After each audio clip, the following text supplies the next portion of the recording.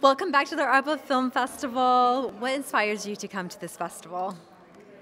Well, I came with my friend Tonya. She she just caught me here on the side of town, and I was like, "Yeah, that sounds really interesting. It sounds really fun." So I'm just here as an invitee. You're the, you're, so this is your first year. It's my first year. But I know this is your returning year. Yes, I was a presenter last year, and just the heart of this festival is amazing. I feel like the energy is so sweet, and I just love supporting everybody and their art. And you know, it's hard to get attention out there, and this has been going on for what 22 years now. So Wow. it's such a you know, there's such a so so many decades of support and love to this community and artists in general. And Sonia is such a great friend of mine, and it's just so wonderful to be here and see all the work.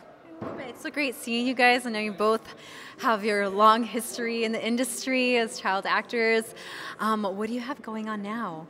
Um, um, well, I'm actually working on a solo show because I've I've been away from acting for about 20 years. Oh my God, it's been that long of It a break? has been, yeah. break. It's been a break. I've been teaching. I've been teaching yoga. I have my own brand. Um, I've been. I've written a couple of books and created a DVD. But I'm coming back to my acting in a solo show that I'm creating right now. Love it. So you're in the process of creating the solo show. I am. Yes. Oh my God, I want to hear everything about it. I Solo know, shows are the best. I know. I can't wait until I until I complete it. She's hysterical. So, I mean, her talent as a writer and an actress is amazing. So, it's going to be brilliant. Yes, so we have that to look forward to. Yes. Is there a specific website people can go to to keep uh, track of all this stuff? Yeah. Um, MandyIngber.com. Yeah.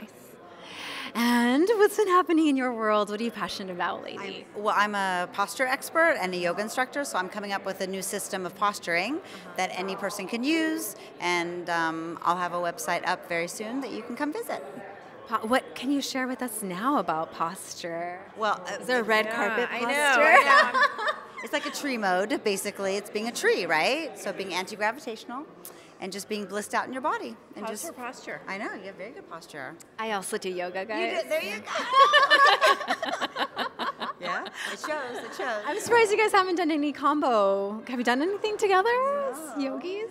We uh, we've done a Well, lot yeah, together improv behind the and scenes, not in yeah. front of the camera.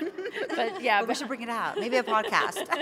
Soon to come. Well, thanks so much for coming by tonight and for talking Good to to us. see you. Thank you.